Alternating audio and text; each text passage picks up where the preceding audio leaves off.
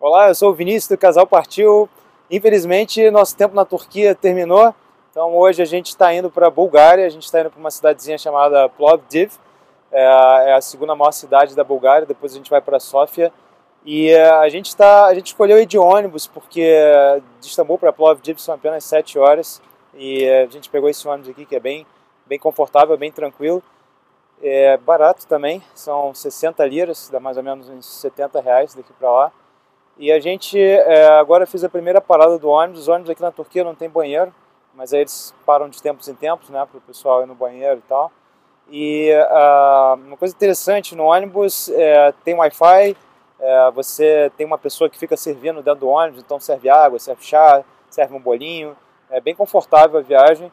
E a gente está aqui no começo dessa viagem, daqui a pouco a gente está chegando lá na Bulgária.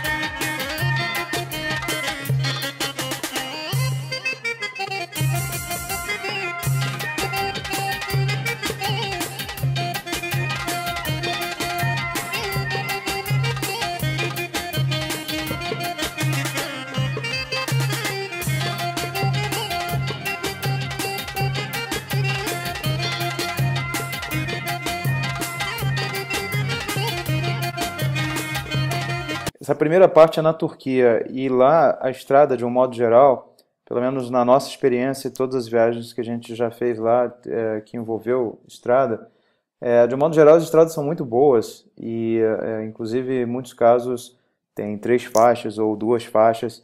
É, no caso de Istambul até Edirne, que é a cidade que faz fronteira com a Bulgária, todo o percurso foi um percurso de, que tinha pelo menos é, a estrada duplicada e a estrada muito boa. Então a gente logo percebeu a diferença quando entrou na, na Bulgária, a gente vai ver mais tarde um pouquinho, porque as condições da estrada na Bulgária não são tão desenvolvidas quanto as condições da estrada na Turquia.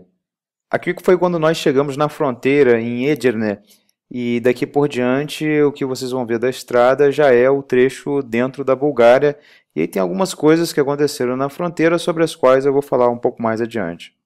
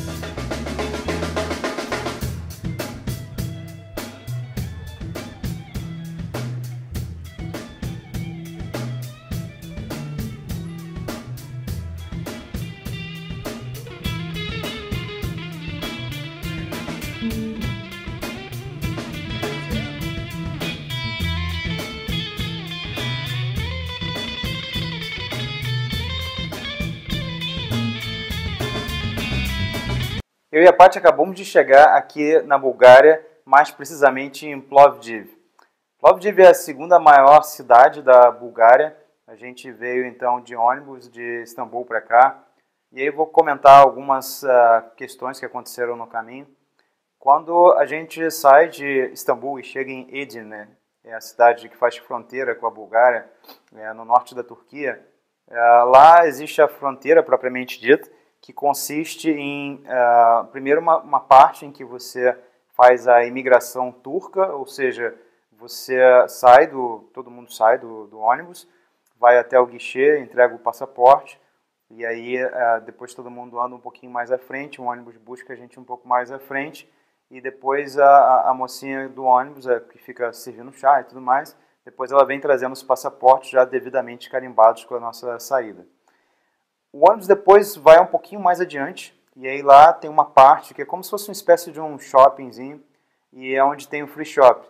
Então, mesmo sendo uh, uma fronteira terrestre e tudo mais, tem uma parte de free shop também, e tem uma parte para você é, almoçar e assim por diante. E aí rolou um episódio interessante, que foi uh, quando a gente estava saindo do ônibus, alguém que percebeu que a gente é turista e tudo mais, tentou dizer alguma coisa é, pra gente. E a Paty entendeu que é, ele quis dizer que é, é, era pra gente almoçar. Eu falei, ah, beleza, a Paty está estudando turco, então várias coisas ela entende e eu não entendo, então vamos embora, vamos almoçar. Então a gente foi para lá e a gente entrou no lugar, foi lá, começou a pegar almoço e tudo mais, mas ficou um pouco aquela pulga atrás da orelha, será que era para almoçar mesmo ou não? Será que é para levar esse tempo todo aqui? Então a gente foi, comer rapidinho e tudo mais, mas mesmo assim tomou algum tempo. E aí, logo que terminou, foi um no banheiro, depois foi outro. Eu falei pra Paty, ó, vai indo logo lá para poder ver se o ônibus ainda tá lá, porque a gente já estava preocupado se o ônibus iria ter partido ou não. E de fato a gente já estava atrasado. Provavelmente não era para almoçar coisa nenhuma, o ônibus já estava lá esperando um certo tempo. E, mas não estava esperando só a gente, tinha outras pessoas também que ele estava esperando. E aí a gente entrou, ficou dentro do ônibus, sentou, e outras pessoas não chegavam. E, bom, conclusão da história, é, teve gente que, de fato, eu acho que duas meninas que eram orientais, eu acho que, eu não sei se era do Japão ou se eram chinesas, mas acabaram ficando, porque os caras tentaram de tudo, tentaram localizar lá dentro, não conseguiram, e elas ficaram naquele lugar lá. O lugar é um pouco esquisito, porque é uma espécie de limbo, quer dizer, você já saiu da, da Turquia, você já está carimbado a sua saída, você não está em outro lugar ainda, então é uma fronteira, é um negócio meio esquisito assim, mas nada demais, assim, super civilizado. Na verdade, dali qualquer pessoa pode pegar um, o próximo ônibus que vier, ou um táxi ou um carro, e simplesmente seguir adiante pela, pela fronteira. Bom, dali a gente passou para o outro posto, uh, que é o posto agora já na entrada da Bulgária. Isso são alguns metros né, que separam cada um. E aí o ônibus de novo parou, todo mundo desceu, foi até o guichê, né, fez uma filazinha, e aí cada um ia lá, mostrava o passaporte, mais ou menos, às vezes a pessoa fazia uma pergunta ou não. No nosso caso, o primeiro foi a parte, ele perguntou para onde estava indo, indo para Bulgária, fiz turismo, depois fui eu, ah, tá junto com ela, tô, e aí, bom, carimbou os nossos dois passaportes, e a gente esperou um pouquinho mais na frente, depois o ônibus veio, pegou todos nós de novo, e a gente seguiu a viagem. E é, até então ficou essa, essa confusão, será que essas pessoas que ficaram lá atrás, será que elas vão vir, não vão vir? Bom, elas não chegaram, então foi bom a gente ter visto esse episódio assim também, porque a gente tem que ficar muito atento, a gente não, não viaja tanto assim de ônibus, a gente tem que ficar muito atento para, de vez em quando, né, quando tiver umas paradas dessas, a gente tem que, na verdade, perguntar, ter certeza, assim, quanto tempo vai ficar aqui para não correr o risco de ficar lá, como aconteceu com as duas meninas lá. E, bom, depois aqui, já dentro da Bulgária, é, a primeira impressão, assim, a, das, do vilarejo, né, que a gente foi passando até chegar aqui, é, é, aliás, está tá tudo coberto de neve, né? Nevou assim há alguns dias, então está tudo muito branquinho e tudo mais. É, quase ninguém na rua. E, mas a percepção é que é tudo muito cinza. Assim, a, a, os prédios que a gente viu pelo caminho, de um modo geral, foram bastante cinzas. Aqui em Plovdiv também, até o momento que a gente vê, ainda são construções bastante cinzentas, mas a gente ainda não explorou a cidade, então não, dá para falar muita coisa ainda. E agora a gente, é, há pouco chegou aqui no, no nosso apartamento que a gente alugou aqui, um apartamento muito legal, uh, super barato, super legal, super bacana aqui na cidade, pelo Airbnb, como a gente faz normalmente.